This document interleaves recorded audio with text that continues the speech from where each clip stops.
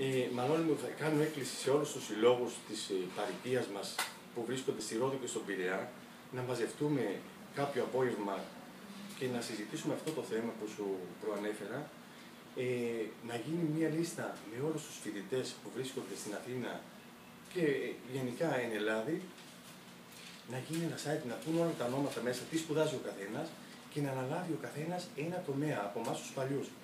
Και από εκεί και πέρα να υπάρχει καθοδήγηση, να έχουν οι νέοι φοιτητές τα, τα email μας, να επικοινωνούν μαζί μας και να υπάρχει μια επικοινωνία μεταξύ μας και επίλυση διαφόρων θεμάτων που απασχολούν τους φοιτητές.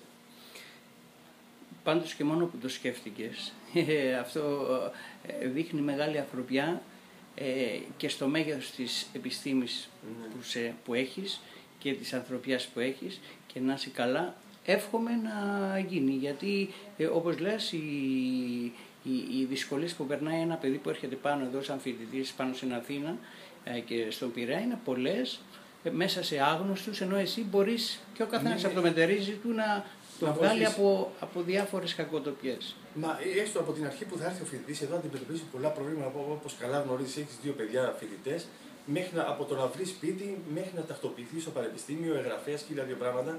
Τέλος πάντων, πιστεύω ότι μέσω κάποιου site και μέσω των email και των ηλεκτρονικών ο, συστημάτων μπορούμε να επικοινωνούμε και να λύνουμε αρκετά προβλήματα των φοιτητών. Πιστεύω ότι θα το υλοποιήσουμε αυτό το, το, το θέμα με τη βοήθειά σου που εντάξει είμαστε σαν αδέρφια και πιστεύω ότι υπάρχει μια καλή συνεργασία και από εκεί και πέρα με άλλους συνομήλικούς μας να βοηθήσουμε τα παιδιά και ό,τι άλλο μπορούμε. Πάντως να σου πω ότι με συγκινείς επειδή ε, ε, ε, βλέπω ότι μέσα στις πολλές καλές χάρες που έχεις πάρει από τον πατέρα σου και από τη μάνα σου έχεις πάρει αυτή τη, τη, τη, τη μοναδική χάρη που είχε ο συγχωρημένος ο πατέρας σου να βοηθά όλο τον κόσμο και ποτέ να μην έχει πει μια κουβέντα πως βοήθησα το τάδε. Ευχαριστώ Μανώλη μου να είσαι καλά και πιστεύω να υλοποιήσουμε την ιδέα μας. Και αυτή δεν είναι συνέντευξη. Αυτά απλά επειδή βρεθήκαμε, έτυχε να βρεθούμε, ήρθα να σε δω στο νοσοκομείο γιατί είχα χρόνια να σε δω και λέω έλα να, α, και μιλήσαμε. Μιλώντας βγήκαν αυτά και λέω περίμενε να, να τα πάρουμε να τα ακούσει και ο κόσμος.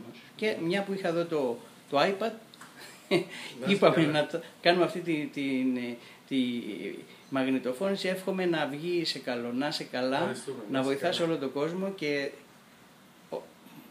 με όποιο τρόπο μπορείς. Ευχαριστώ, να είσαι καλά.